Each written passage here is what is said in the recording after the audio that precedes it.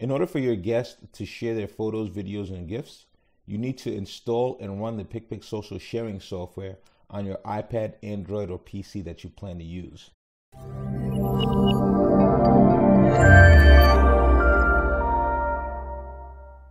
If you're using a PC, open your browser and go to picpicsocial.com. At picpicsocial.com, click the link for the download section. Scroll down to step three and click on the button that says download PicPic Social for PC.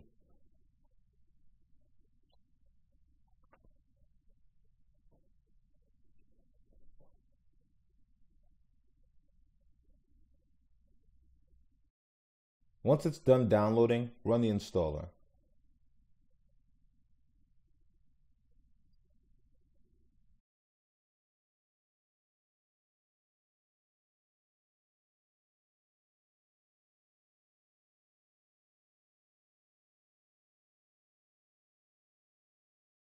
If you're using an iPad or Android, the easiest way to download the PicPic Social Sharing Station is to open the App Store and to do a search for the word PicPic or PicPic Social.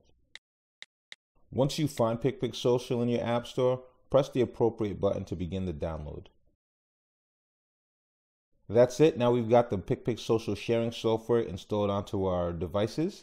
The next step is to run the sharing station and connect to our device server, which you'll see how to do in the next video.